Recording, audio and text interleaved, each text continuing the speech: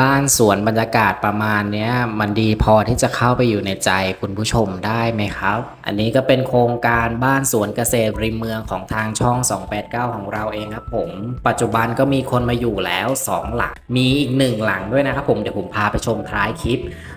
ปัจจุบันเขาก็ทำสวนทำเกษตรกัน วันนี้ผมก็พามาดูยามเย็นนะครับผม บรรยากาศจะเป็นยังไงครับผม โครงการนี้ตั้งอยู่ที่อำเภอสามชุก จังหวัดสุพรรณบุรี อยู่ที่ตำบลบ้านสะ ใกล้ๆกับวัดสะดาดประมาณสักโลเศษครับผม อันนี้ก็เป็นบรรยากาศที่ว่าเพื่อนบ้านเขามาอยู่กันแล้วนะสองหลัง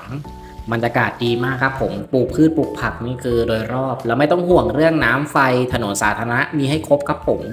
ไฟฟ้าประปาถนนสาธารณะคือมีครบ มีพร้อมแล้วในหลังนี้ เนื้อที่ไร่กว่าๆครับผมขายอยู่ล้านก็บาท เดี๋ยวผมอธิบายสาธารณโภคก่อน อันนี้เป็นถนนทางเข้าโครงการก็เป็นเห็นคุกนะ แต่ออกไปอีกหน่อยเห็นไหม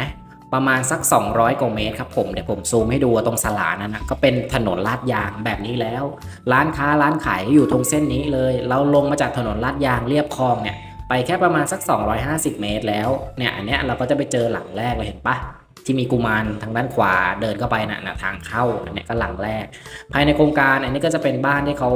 จับจองไปแล้ว แล้วก็มาอยู่เขาปลูกทุเรียนปลูกฝรั่งปลูกผลไม้เยอะมาก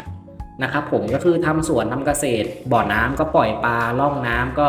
ปลูกบัวอะไรประมาณนี้คือ pattern ของโครงการนี้จะเป็น pattern เดียวกัน วิวโดยรอบก็จะเป็นทุ่งนาครับผมรอบๆนะในแปลงที่ดินก็จะมีบ้านอยู่หนึ่งหลัง มีบ่อน้ำมีศาลา แล้วก็มีโซนทำสวนอย่างหลังเนี่ยครับผมผมพาไปดู อันเนี้ยหนึ่งไร่สองงานนะเหลืออยู่หลังเนี้ยเนี่ยครับผมหนึ่งไร่สองงาน อ่ามี1ห้องนอน1ห้องน้ำหนึ่งห้องโถงหนึ่งห้องครัวหลังเนี้ยพิเศษคือจะมีชานที่ต่อด้านบนมาเห็นปะมันจะเป็นชานบ้านคล้ายๆเทเลสยื่นมาเห็นไหมเนี่ยดูสวยเลย สามารถมาตั้งโต๊ะ ตั้งจิบกาแฟตามเช้าตอนค่ำๆได้เลยเห็นปะบ่อน้ำศาลา นี่เลยอยู่ในแปลงหมด 1 ไร่ 2 งานเนี่ยหลังเนี้ยล้านเจ็ดเท่านั้นเอง เห็นไหมโดยรอบก็มีบ้าน เขามาปลูกแหละเห็นปะนะเขายอดปลูกเพิ่ม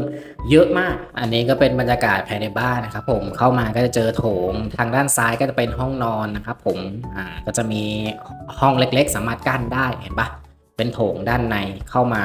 อันนี้เป็นบริเวณห้องนอนก็จะมีกั้นกระจกไว้สามารถเปิดออกไปข้างนอกได้นะมีหน้าต่างออกมองออกไปนอกระเบียงห้องน้ำก็ทำให้ครบนะครับผมปูกระเบื้องนะปูพื้นก็เน้นโล่งๆ โปร่งๆสีสว่างสว่างๆครับ ผมบรรยากาศก็ประมาณเนี้ยครับผมที่เขามาอยู่แล้วเราก็สามารถทำแบบนี้ได้เลยครับ ผม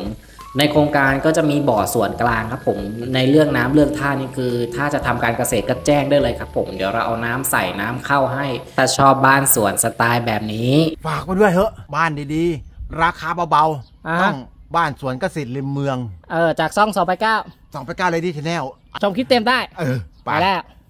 Woo!